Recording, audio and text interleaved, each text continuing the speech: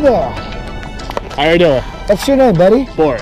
Hey, Boris. I'm Raphael. I'll be teaming up with you today. Welcome to Skydive Taft. So how you feeling today, buddy? Doing good. Hopefully Feeling will be fun. Yeah? Ready to sky jump? Indeed. Indeed. You know what? Work is rough. Worst case scenario, at least I'm done with work. Sound good, oh good. Um, so are you, on a scale of 1 to 10, how excited are you now? Nine. Like a 9, yeah. On a scale of 1 to 10, how nervous are you now? Probably like a four, but when I got on the Four? plane, like a nine. Maybe a 9? Yeah, Yeah. let me see your hands. Uh, you're a little shaky already, are you sure? Is this a 4? Oh, Imagine when I'm a nine. Yeah, that's You gonna be it's a big earthquake going on. no worries, we're gonna make this fun and safe. Okay, remember everything we talked inside. Nice big arch for me, big smile for this camera over here. Let's have some fun, okay? All right. Would you care to share a few words with whoever's gonna watch the video later? Hopefully I survive. If not, well, you you, you were warned. Jump in the